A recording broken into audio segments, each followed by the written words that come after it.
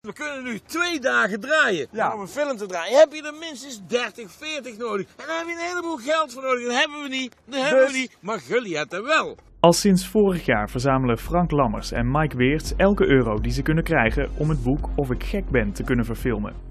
En dat is een duur grapje. Eh, je hebt locaties die kosten geld, materiaal kost geld, camera's huren kost geld, montage kost geld, reclame voor je film maken kost geld. We hebben nu nog nodig, denk ik, zo rond de 80.000 euro.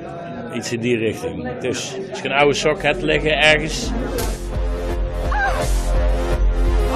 De film is een idee van Mike Weerts. Hij speelt de hoofdrol.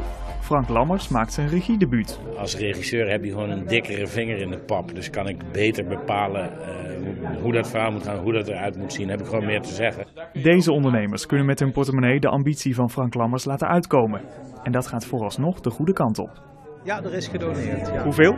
Eh, gewoon één eh, biljet, eh, één, één, één contract getekend, laat ik het zo zeggen. Eindhoven vind ik een beetje eh, symbool staan voor de ondernemersdrift van, eh, van Brabant. Dus eh, als we die ondernemersdrift mee kunnen nemen, eh, dan eh, moet dit plan uiteindelijk gewoon slagen.